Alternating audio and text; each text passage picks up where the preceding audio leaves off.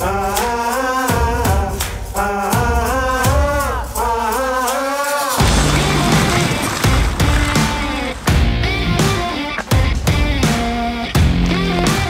ich bin so müde. Los. Die Autofahrt, die war schon eine Tortur jetzt. Ich habe mich gefühlt wie mit drei Promille. Kein Wunder, nach so einer kurzen Nacht sollte man eigentlich nicht unbedingt machen. Aber ich bin mit dem Thomas verabredet. Der Thomas hat mich zum Angeln eingeladen hier ins tiefste Bayern. Und ich muss sagen, kaum bin ich von der Autobahn abgefahren, wurde ich wach. Schöne Gewässer, die Donau, Berge, Hügel, grüne Landschaft. Geil hier. Richtig, richtig geil hier. Aber deswegen bin ich nicht da. Ich bin hier, um Fische zu fangen und ich hoffe, dass es nicht ganz so gut beißt wie in der letzten Nacht. Aber dass wir dennoch den einen oder anderen Fisch fangen werden.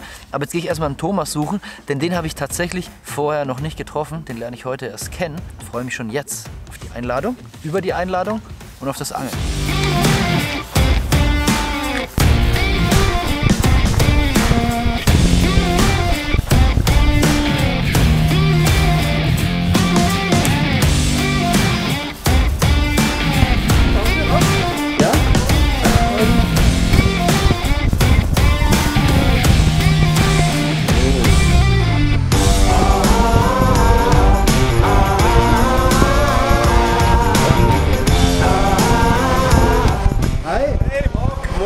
Grüße dich. Und? Alles gut? Hi. Was steht an? Äh, Im Kneter WC20 Marc, unser Tournament Bulli. IBCC äh, am Balaton steht an. Ah, Und wir sind mit zwei Teams am Start. Ein österreichisches und ein deutsches Team. Und die Jungs, beziehungsweise auch ein Mädel, die brauchen natürlich Futter. okay. Und Das heißt, du musst heute noch rollen. Wir müssen heute noch rollen, aber was da im Kneter läuft, da werden uns wir beide ganz, ganz frische Bullis mit ans Wasser nehmen. Ah, also das heißt, Thomas rollt und ich guck mal ein bisschen durch die Gegend. Bis gleich.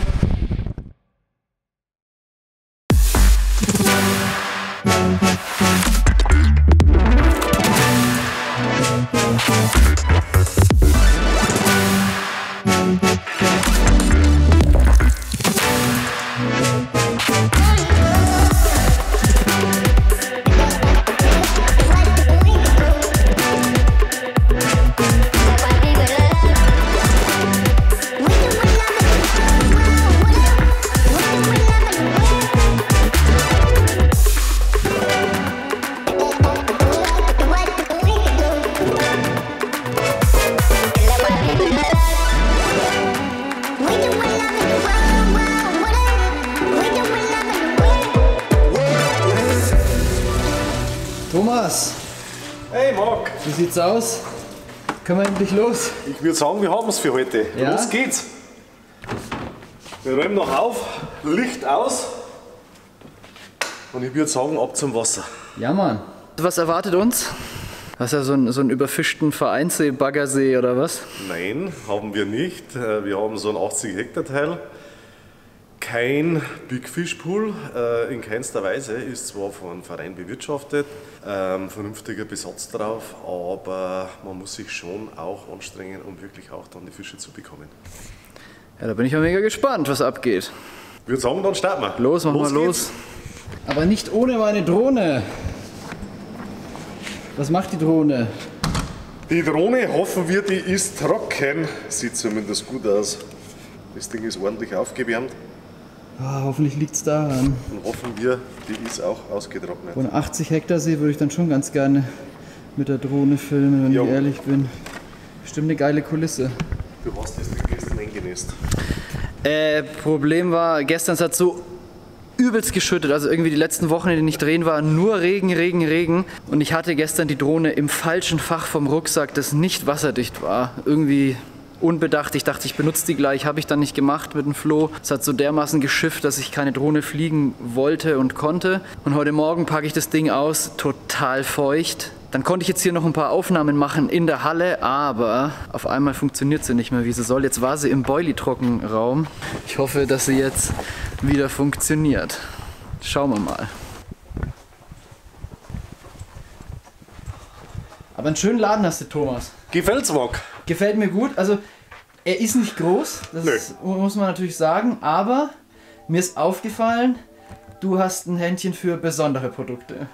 Also uns ist einmal wichtig in der Bettfabrik, Marc, ähm, aber mal den Kunden auch mit dem besten Tackle versorgen zu können. Uns ist wichtig, dass der Kunde eine vernünftige Beratung bekommt, Top-Service, aber Futter wird und ist unser Kerngeschäft und wird es auch immer bleiben. Das liegt uns am Herzen, äh, Tackle-Bereich ergänzend, funktioniert auch recht gut und stehen wir immer mit Rat und Tat zur Seite. Und du stehst, glaube ich, auf stylisches Tackle, ne? Definitiv. Weil du hast jetzt, glaube ich, auch nicht unbedingt Vollprogramm von jeder Firma. Aber wenn ich so ein Auge dafür habe, und das habe ich, du hast auf jeden Fall von jeder Firma die Sahnestücke am Start. Äh, definitiv, ähm, ich sage einmal, Nash sowieso, Nash schon coole Klamotten, ähm, cooles Tackle, das passt da qualitativ. Ähm, Trecker haben wir auch ziemlich viel. Ähm, von Fox ein wenig, aber wir werden im Januar oder wir werden die Wintermonate nutzen, unseren Laden zu vergrößern. Oh. Möchte noch nicht so viel verraten, Nein, noch nicht zu viel verraten. aber es wird definitiv eine kleine Erlebniswelt, äh, schöne Ausstellung für Zelte und so weiter. Cool, ich finde es jetzt schon schön. Also super stylisch gelöst. Besonders die Köder sind natürlich sehr, sehr, sehr gut präsentiert. Ja, wie gesagt, ähm, Köder ist einfach, es ist Kerngeschäft, ist unser Herzstück, da hängt meine ganze Leidenschaft dran. Ähm, ich sage für mich persönlich, ähm, die, die Karpfenangelei lebt vom Köder und lebt vom Angler und lebt vom Spot. Ähm, da muss man mal ehrlich sein. Ähm, ich sage mal, Tackle ist natürlich eine schöne Ergänzung. Man braucht ein vernünftiges Zelt, vernünftige Liege, aber nicht unbedingt kriegsentscheidend. Und ich denke, da stimmst auch du mir zu. Ja, auf jeden Fall. Ähm, Auf, äh, Futter ist auf jeden Fall wichtiger als Tackle. Sehe ich auch so.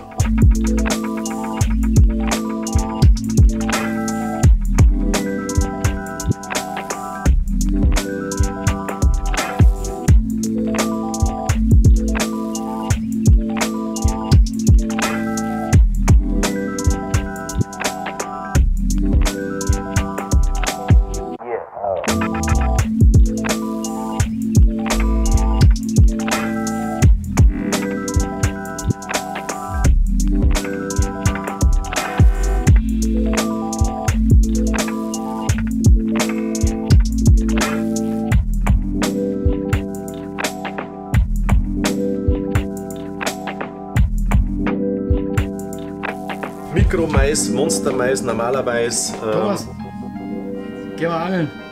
Wir gehen auch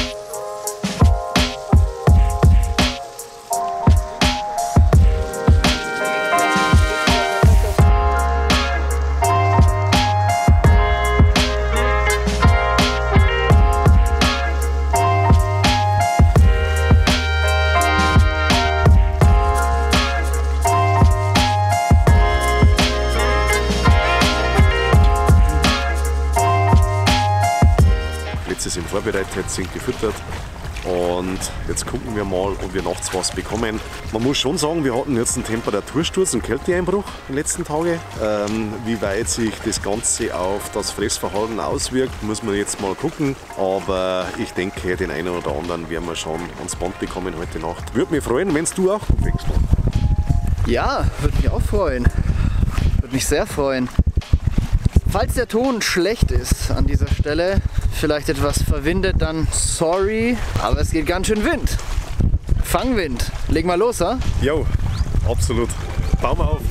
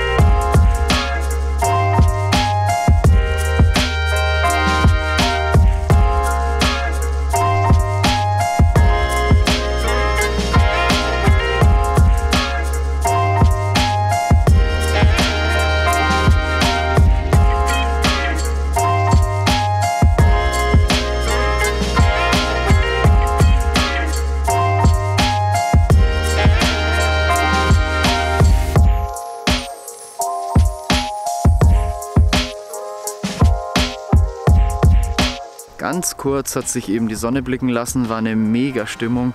Ich habe sie ausgenutzt und habe mal ein bisschen gefilmt. Leider, leider kam ich noch nicht dazu, einen Fisch aus diesem schönen See zu filmen. Und allmählich läuft mir auch so ein bisschen die Zeit davon.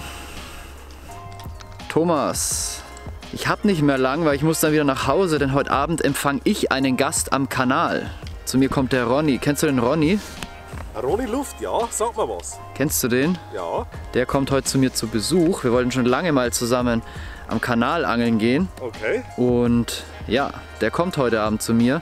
Aber ich muss jetzt echt mal gucken, dass ich äh, ganz schnell einpack, Thomas. Ich muss hoch in die Halle, ähm, die Maschinen anwerfen, dass ihr mit Futter versorgt werdet. Und wie gesagt, Leute, einen geilen Jahresabschluss wünsche ich euch. Wollen wir noch eine Aktion zum Video machen? Eine Aktion zum Video. Wir machen eine Aktion zum Video. Kap- Sorry, Capzilla, Capzilla 10. Capzilla 10. Bei euch im Shop auf alles Futter. Sollte das Stichwort sein. Jo, Zwei Wochen lang Capzilla 10, alles klein geschrieben, Rabattcode bei euch im Shop. absolut. Ähm, Spart ihr 10% mit. Eben geklärt. definitiv. Sehr, sehr coole Sache. Ich, ich muss jetzt aber auch echt los. Ich will Ronny nicht warten lassen und ich habe drei Stunden nach Hause, Thomas. Ich bedanke mich für die feine Gesellschaft. Auch ich bedanke mich ganz herzlich. In diesem Sinne, schöne Zeit, Jungs. Und Mädels. Es werden immer mehr. Immer.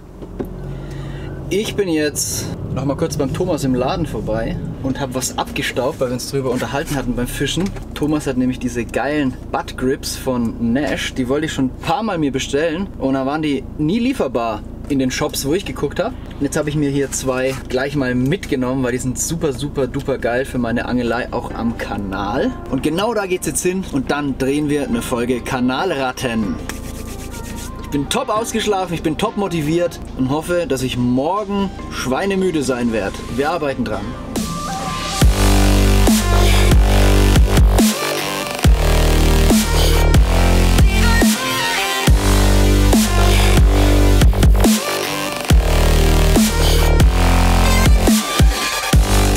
Timing, perfekt. Ronny ist von Berlin oder so hier runtergefahren, also ziemlich weit. Und ich komme ja gerade von Thomas aus dem Süden hoch, auch fast drei Stunden Fahrt, Gegurke. Beide einen weiten Weg und wir treffen uns am Nabel der Welt in Nürnberg am Kanal. In der Hundescheißallee.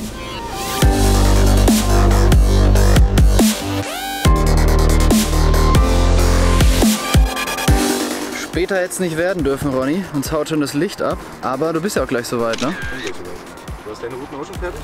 Nee, ich habe gar nichts fertig. Das mache ich, wenn es dunkel ist. Ja, Beißzeit ist sowieso erst später. Ich weiß ja, was zu tun ist.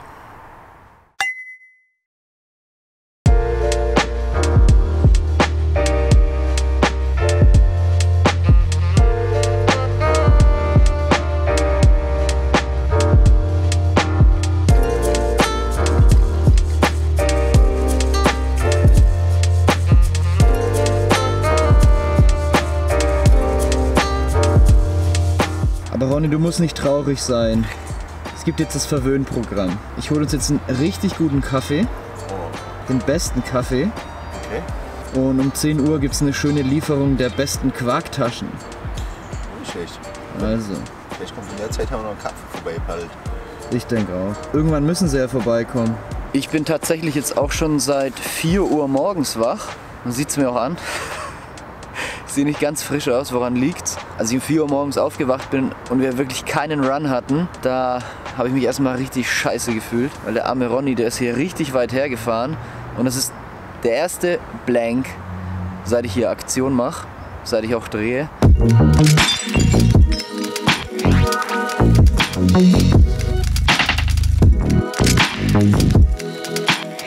Hier auch noch eine Kleinigkeit mitgebracht. Wie, du hast mir was mitgebracht. Eine der heiß begehrten World Cup Classic Flaggen. Ach. Oh, das ist lieb.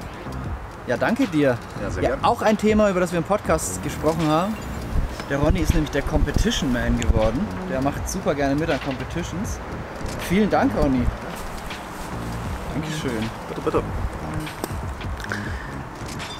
Die gute Nachricht ist, es kann nur besser werden. Die schlechte ist, war jetzt natürlich nicht ganz so doll für den Ronny. Das wird zu machen. Aber der Ronny ist es gewohnt, hat er gesagt. Ja, in diesem Jahr auf jeden Fall. Aber es kann ja nur noch besser werden. In diesem Sinne, fahre jetzt erstmal zum Andi, mache dann ein paar Fotos von ihm bei der Baitproduktion für einen Bericht auf Capzilla. Dann gehe ich angeln an einen See mit einem recht guten Fischbestand. Ich treffe mich dort mit Leo, Sascha, Andi kommt sogar zum Filmen vorbei und der Seppo kommt noch. Sind keine Riesen drin im See, aber ein guter Bestand und das ist ehrlich gesagt genau das, was ich jetzt nach zwei Blecknächten auch echt brauche. Ein Aufbaugewässer, eine gute Zeit mit Kumpels und ja, Druck in der Route.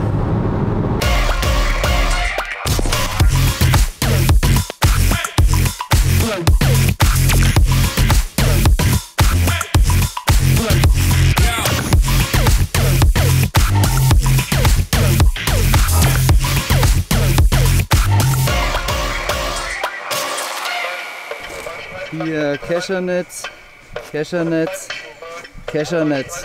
Völlige Eskalation. I like it.